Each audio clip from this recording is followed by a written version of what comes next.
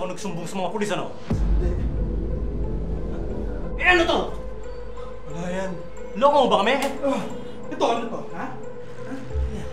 Ano yan? wala yan. Ano yan? Wala yan. Eh, ano to? Adjust ko lang yung level saglit ah.